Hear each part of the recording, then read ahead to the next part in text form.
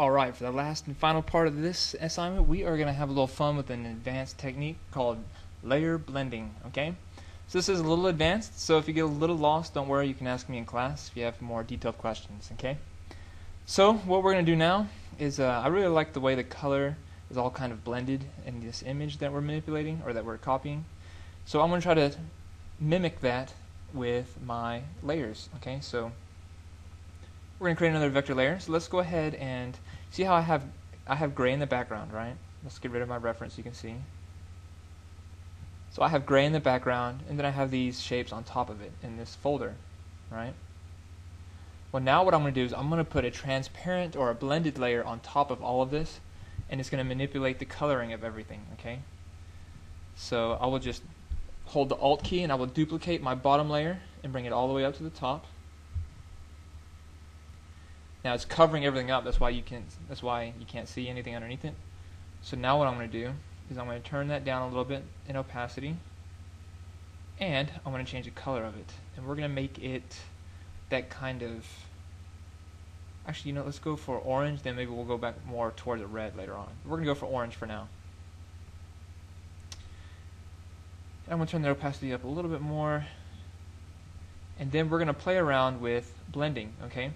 So right now the blend is on normal. But if I hit this drop down, I gotta make sure I'm selected that top layer and hit this drop down. And I can get multiply, color burn, darken, overlay, all these different ones, okay? And they all do do something different. But I'm gonna so I'm just gonna explain a few of them, but the ones that I usually use is I'll sometimes I'll experiment I'll experiment with overlay to see what that does. And as you can see what it does is it puts an orange tint on everything sometime, but overlay is quite complicated. I don't even know how to explain what overlay does, but it's always good to experiment, see if it makes things look better. Lighten is kind of obvious, it lightens everything.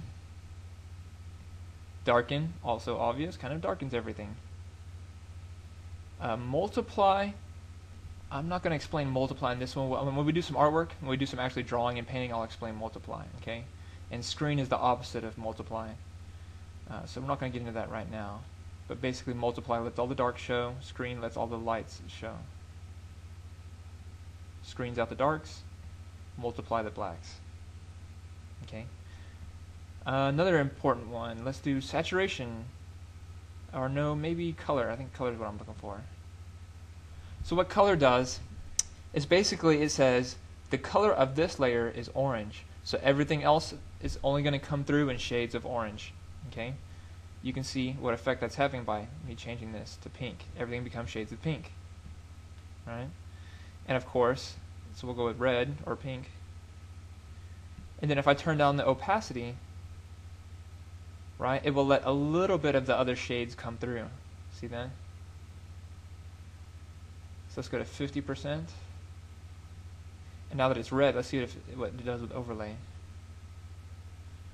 Okay just for a little bit more fun, let's, oh, and as you can see, it's having not much effect on these strong colors. So let's go back to color. Yeah, I like that. Another good thing that this does is artistically what it does is it harmonizes your colors because they all become a little bit closer to each other on the color chart. Whereas before you had extreme yellow and extreme pink, now you have a, a uh, yellow and a pink that are much closer to each other. Okay, so that harmonizes our entire artwork. But let's bring that art, let's bring that reference on top, and let's make it really small. Actually, you know what I'll do? I'll make a duplicate of it, like a small version of it. So I'll alt drag it up. Huh, that doesn't seem to be working. Oh, I gotta hit enter key. So instead of reference copy, we'll call it reference small, small reference. And we'll hit Control T and hold down the shift key so it keeps the proportions. And this will be our reference artwork. So we're just going to keep an eye on this. And we'll keep it at the top left. What I can also do, duplicate this yet again, and then Control T. Oh, can't transform. Uh, instead, what we'll do is we'll draw a big square, okay? Grab a square tool, and we're going to make the color of this pretty dark red. Or maybe, we've already got dark gray, so let's do a light gray this time. And just like this, we'll draw a floor plane. See that? So it goes through that middle square there. Okay, and then, oh, let me turn the opacity back up on the squares. Very good. And now what I'm going to do is, you do you see how there's a shadow on this square? So what I want is I want a dark blend layer on this, only on this folder of images, right? So I've got this folder. This is side one, the first side. Okay, I could call it left side if I wanted. And now what I'm going to do is if I drop down, I have one big square for that entire thing, right? And do you see that shape there? If I were to grab this, you could see that big square. What I'm going to do is this is a vector, and then this is the vector shape. Right, so this vector shape is masking this big block of white. So that big block of white only so shows up inside of this shape. So what I'm going to do is I'm going to create a new layer up here, so the very top layer, new fill layer, solid color. We're going to make it black because we want it to be a shadow. We're going to turn on the opacity because we don't want a solid black, we just want a little bit of a dark tint. So I'll make that 15%.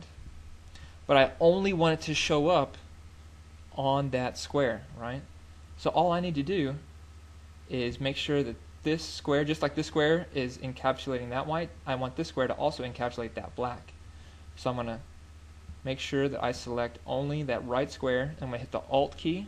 So hold down the Alt key, click and drag that shape to black.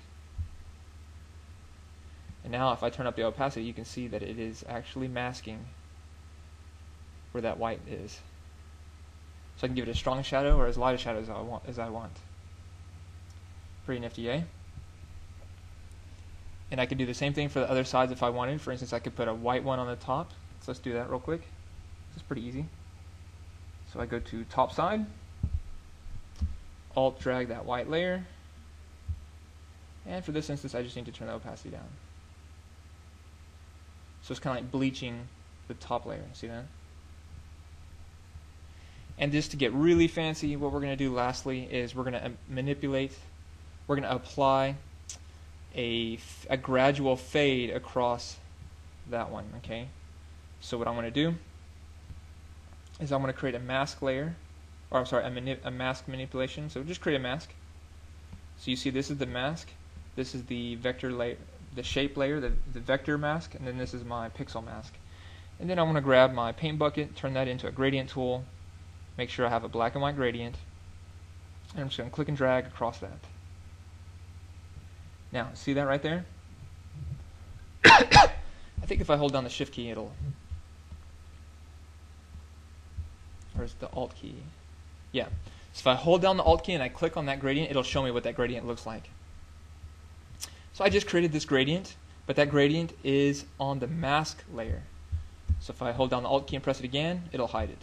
Okay.